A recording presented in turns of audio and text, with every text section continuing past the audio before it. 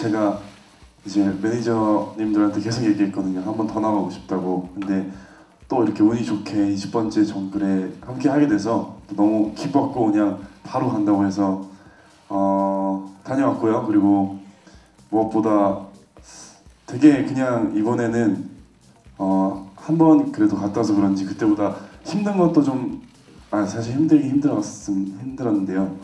어, 되게 되게 힘들었어요 사실.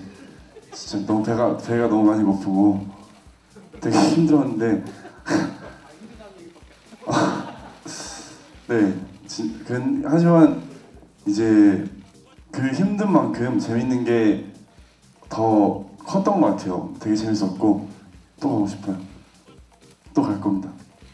네 팬, 팬분들께서 좀 안 좋아하시더라고요. 제가 정글 간다고 하면은. 근데 죄송합니다. 너무 재밌어서 가야겠습니다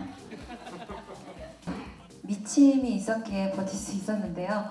가기 전에 많은 분들이 정글 선배님들이 우비를 꼭 챙기라고 하시더라고요.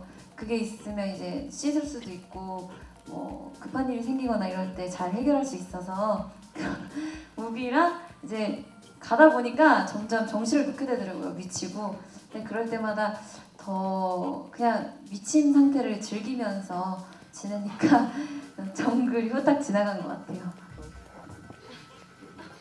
거기는 그 새끼고 저는 무기.